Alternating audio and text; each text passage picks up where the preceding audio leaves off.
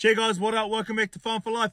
Um, this is a freaking cool video that me and Chase are going to hit you with right now about the vets coming out to do the bloods and liver tests on our cows. So with one of the most important parts of the year coming up being mating, um, obviously we want to make sure that our cows are in good condition, um, they're cycling well, um, and that also that they're not deficient in any minerals. Okay, so and we also want to make sure that they're not ketotic. So we've drafted out a few uh, colostrums out of our out of our colostrum mob.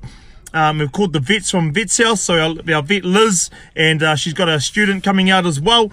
Um, they come out to check our bloods and livers and get a, uh, a test on our, our ketone levels with our cows. So I'm going to flick you around and uh, we're just going to talk through the process here. It's a pretty cool one. Um, definitely if you're farming or if you're coming into farming, man, there's so much cool shit that we need to do um, that we sort of forget about as farmers. We sort of just, you know, we're so busy, we just carry on with it and don't really think about it. But when you're when you're not farming and you sort of look at the sort of shit, it's like frickin' hell. They do so much cool shit. Like this is frickin' the coolest part about farming is like understanding um, the cow's anatomy, um, minerals, and sort of just how how everything works. So flick you around and we'll flick you on to the experts. Right, we're going to test some bloods for the trace elements for selenium and some magnesium as well. Yep. And at the same time, we'll do ketone testing. Yep. So that's what we want to diagnose is actually see if there's some subclinical ketosis going on in the cows. So straight after calving, they're quite susceptible for that. Some cows could be. So if a cow just calves, she actually goes through a massive transition transition period. So from being a dry cow, all of a sudden she has to calf and it might be bad weather conditions. She has to pop this calf out. She straight away has to go into production and it drains so much energy from her. Yep. So because of that, if, you, if she can't keep up with the feed demand or the feed quality is not that great or whatever reason she can't keep up with feed demand, Yep. she will um, use her own muscle and her own fat that she's got to break down and that will uh, form ketones. Yep. If there's too many ketones, they'll come into the blood, bloodstream and um, become ket- the cow will become ketotic. Yep. So um, and subclinical ketosis, if she has a value of 1.2 millimoles per liter, Yep. then it means she'll be subclinical ketosis. And over 2 millimole, we talk about uh, clinical ketosis, but then you'll see nervous symptoms, or she'll become really lethargic. Um, she'll drop milk production, she'll drop um, appetite. So um, that's when we actually see a clinical.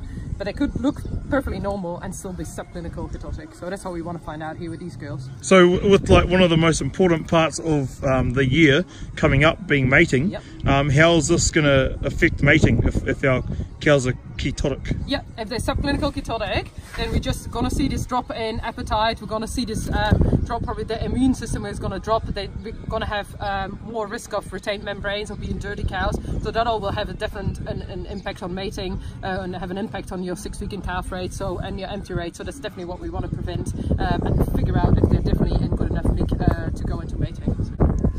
A little vein through there, is there? Yeah, there's a little vein running through the tail, and if if you feel in between the vertebra here, Yep. you can feel a little dip, and that's where you want to take your blood sample from. Nice. So,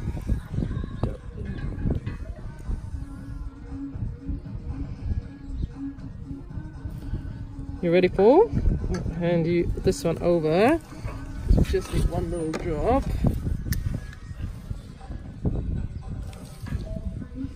Baboosh.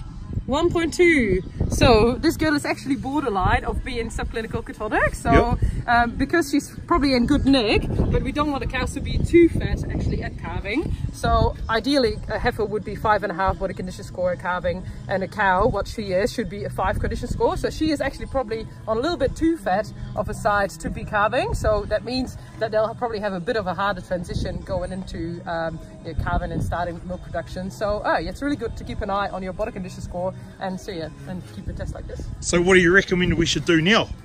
Um, I would just keep a, a good eye on that you can keep the feed into them, so make sure that this girl can actually keep eating for her for the demands that she has, so she doesn't have to break uh, down too much of her own uh, body fat, and uh, get them in a nice uh, condition for uh, mating. So if she would be at a four and a half for mating, four Yep. and a half, that would be great. That would be great for her. So we just done the bloods and livers. Um, so we just, in terms of the livers, what are we measuring there? In the liver, we will test the copper levels, and in the blood, we'll test the selenium and magnesium levels. What's that? There's some disinfectant, some Hibiscrub to make sure that we get as many bugs off as we can.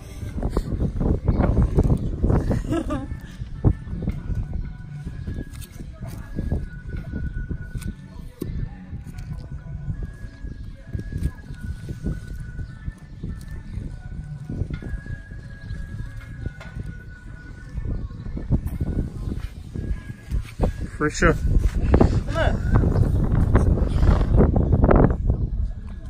Ooh, there it is. Some liver. So we're going to get a graph um, sent out to us and, and from there we'll um, action that, that plan. Yep, yep. And Cool. nice analysis, just straight straight for the Mercury found, so that we for fun for life. Awesome. Thank you very much for coming out guys. All good, see you later. See you.